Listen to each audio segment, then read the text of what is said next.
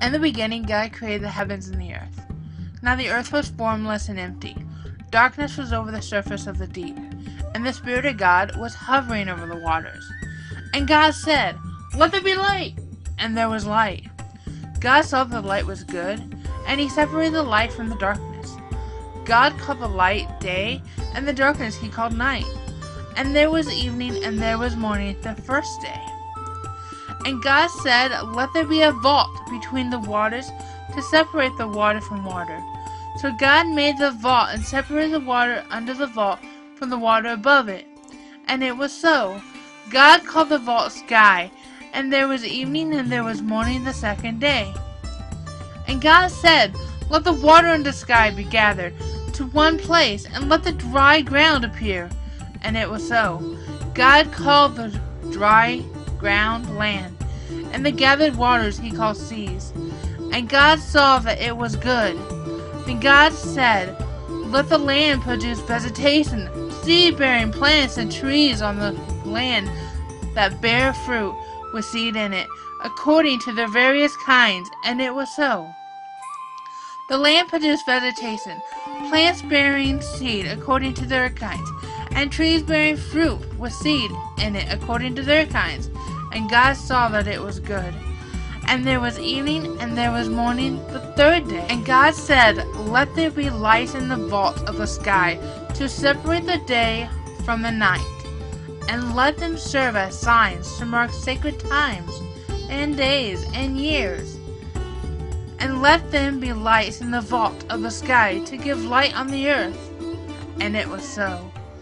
God made two great lights the greater light to govern the day, and the lesser light to govern the night. He also made the stars. God set them in the vault of the sky to give light on the earth, to govern the day and, and the night, and to separate light from the darkness. God saw that it was good. And there was evening, and there was morning, the fourth day. And God said, Let the water teem with living creatures and let birds fly above the earth across the vault of the sky. So God created the great creatures of the sea and every living thing with the water teems and that moves about in it, according to their kinds, and every winged bird according to its kind. And God saw that it was good.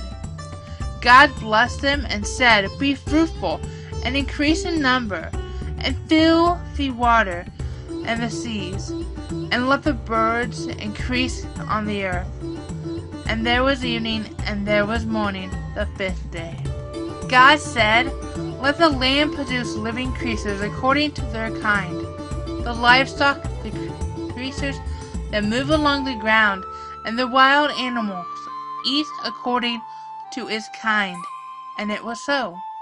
God made the wild animals according to their kinds, the livestock according to their kinds, and all the creatures that move along the ground according to their kind.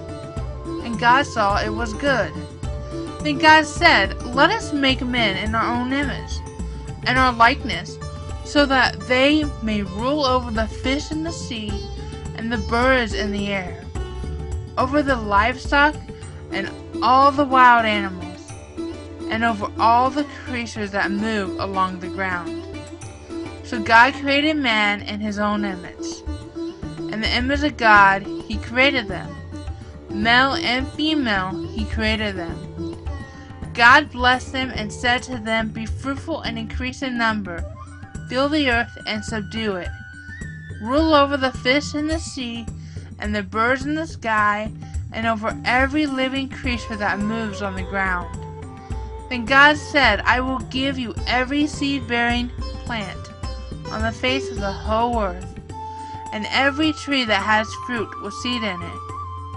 They will be yours for food, and to all the beasts of the earth, and all the birds in the sky, and all the creatures that move along the ground, everything that has breath of life in it. I give every green plant for food. And it was so. God saw all that he had made, and it was very good. And there was evening, and there was morning, the sixth day.